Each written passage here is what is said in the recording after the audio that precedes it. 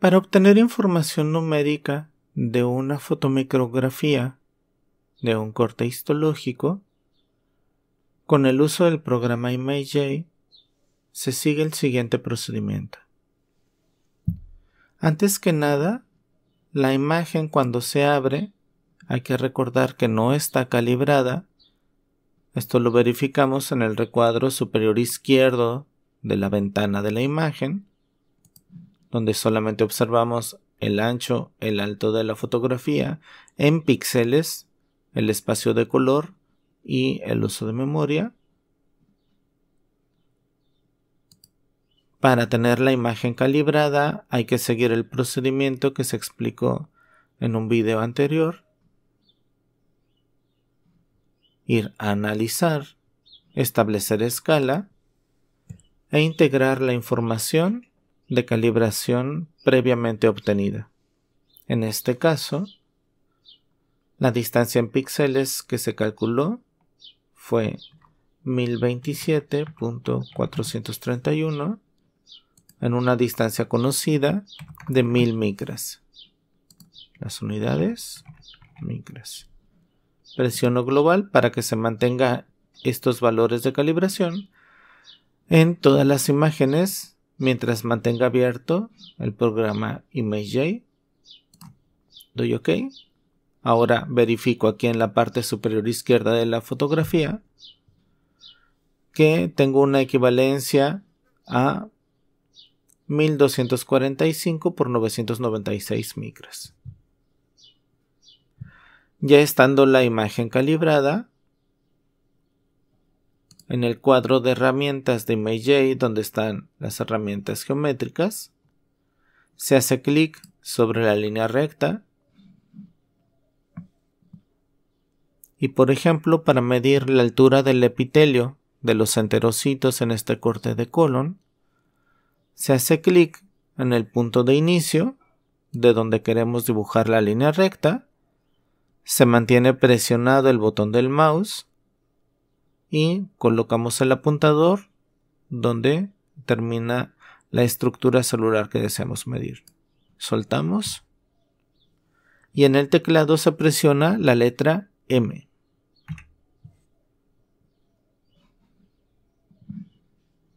sale la ventana de resultados y del lado derecho tenemos la longitud. En este caso 50 micras. Si regresamos a la imagen, hacemos un clic en cualquier sitio, se borra la línea dibujada y podemos volver a presionar, dejar presionado, arrastrar, soltar, letra M y se agrega una nueva medida. De nuevo, presionamos, soltamos, capturamos. Si la célula o la estructura parece completamente horizontal, pues dibujamos una línea horizontal. Pero si la célula o la estructura permanece inclinada, hay que dibujar la línea en la dirección del tejido siempre recuerden que debe de tener sentido biológico. Por ejemplo, no se tomaría una medida de este lugar porque en este sitio es la entrada de una cripta de Liverpool, pero se cortó solamente de manera superficial a la altura del epitelio, no se llegó a la parte central donde se encuentra la luz del canal de la cripta, entonces, en esta región no estaríamos obteniendo una estructura histológica real. Podríamos tomar una medida donde nosotros viéramos que las células representan una forma esperable. Siempre hay que conocer el tejido para saber cómo dibujar nuestras líneas. Aquí van un poquito inclinadas arriba. Aquí están completamente horizontales, un poquito hacia abajo. Y aquí están las células ligeramente inclinadas hacia abajo, desde la superficie hasta la región de la membrana basal.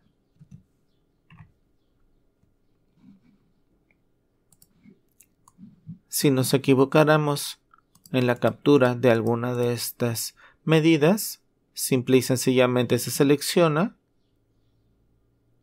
y se presiona en el teclado el botón borrar, delete.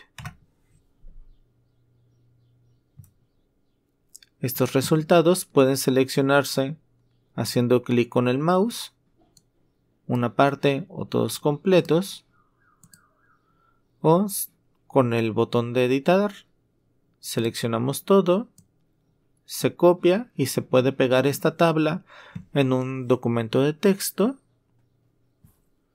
o en una hoja de cálculo. Otra manera de guardar los resultados es haciendo clic en archivo y guardándolo completo, como un archivo independiente.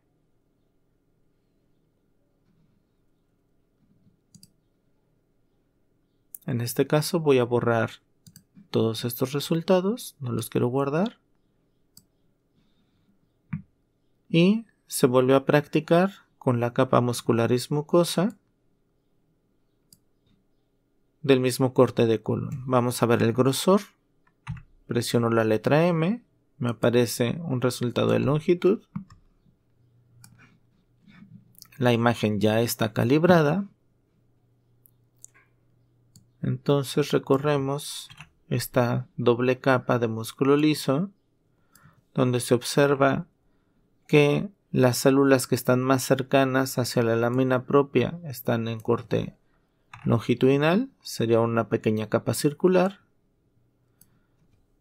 Por ejemplo, aquí en esta línea comencé un poco a la izquierda, entonces vuelvo a dibujarla.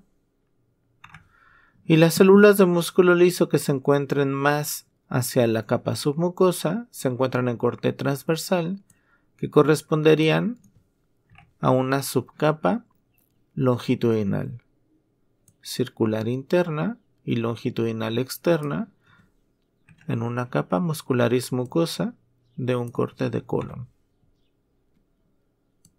Entonces, continúo presionando la letra M después de cada medida hasta obtener el número de medidas deseado. Aquí fuimos desde 30 micras hasta 61.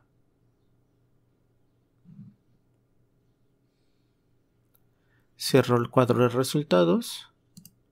No lo quiero guardar. Cierro la imagen.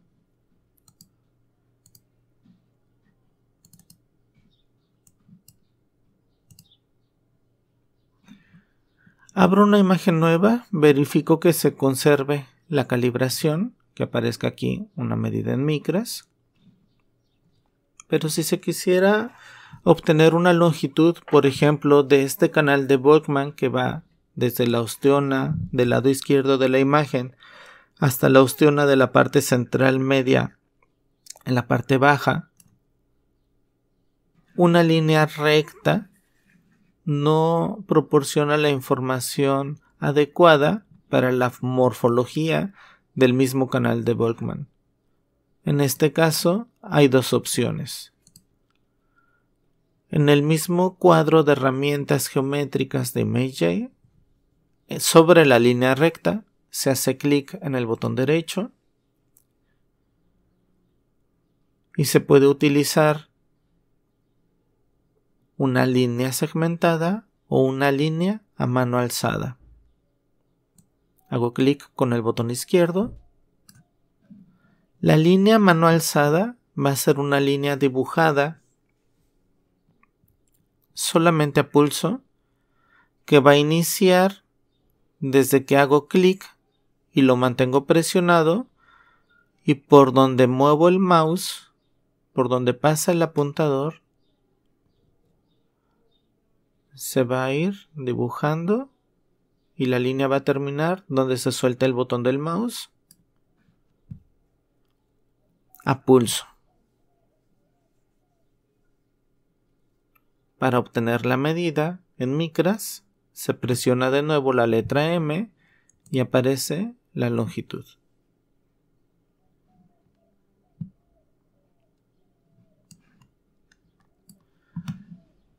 No es muy recomendable utilizar herramienta mano alzada cuando uno tiene el pulso muy ligero,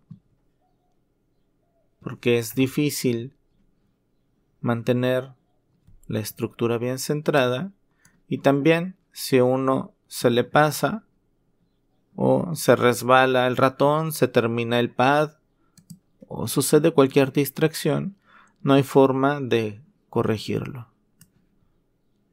En este caso se va demasiado hacia los extremos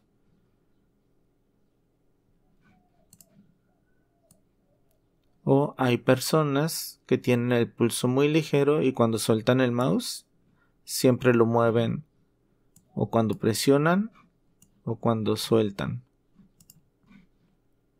Para evitar estas, para evitar estas imperfecciones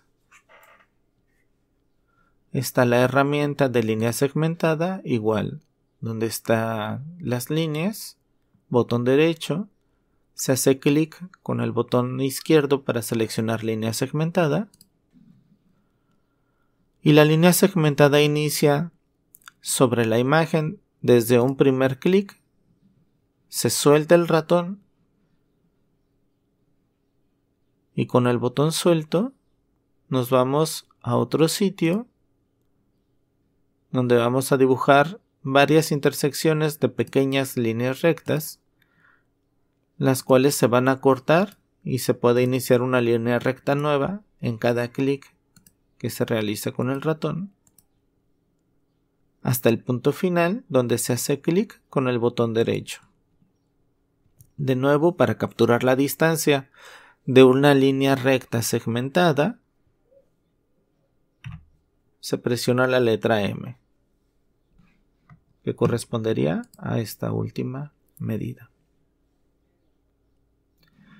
La línea segmentada tiene la ventaja de que en caso de que uno se haya ido un poco chueco en algún sitio, se acerca con el apuntador, cambia de icono hacia una mano, se hace clic y se puede volver a centrar sobre el punto adecuado de la imagen. Por lo tanto, cuando se utilicen herramientas como esta de línea segmentada, es recomendable utilizar varios puntos de cambio de ángulo de la línea. Algo así. De nuevo para capturar, presiono la letra M en el teclado y se tiene una nueva longitud.